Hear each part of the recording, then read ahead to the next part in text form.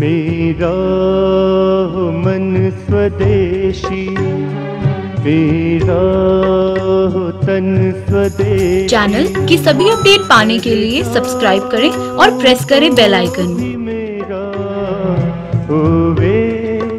कफन स्वदेशी। मैं भारत को भारतीयता की मान्यता के आधार पर फिर से खड़ा करना चाहता हूँ। उस काम में लगा उस काम में लगा। हाँ। खून निकलता है अगर एक्सीडेंट में।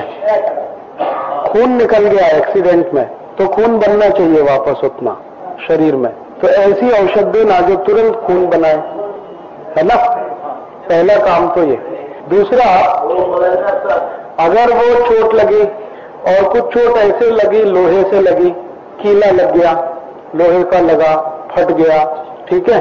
तो डॉक्टर वो एटीएस का इंजेक्शन देता है एंटी टिटनेस धनुर्वात आप जिसको कहते हैं। उसका इंजेक्शन नहीं लेना हो तो एक औषधि है, उसका नाम है हाइपेरिकम ये कितना भी खराब जंग लगा, लोहा लग गया, कितना भी खराब, वो कितना भी पुराना हो, कितना भी खराब हो, सीधे आप ले लिया तो ये बिल्कुल टिटनेस नहीं होने देता, धनुर्वात नहीं होने देता। बहुत अच्छी औषधि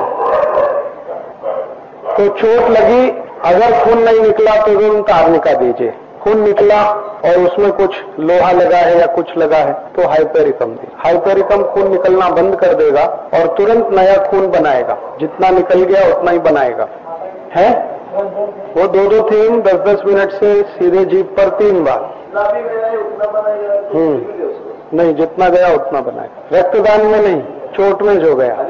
हाँ रक्तदान में नहीं होता। रक्तदान में।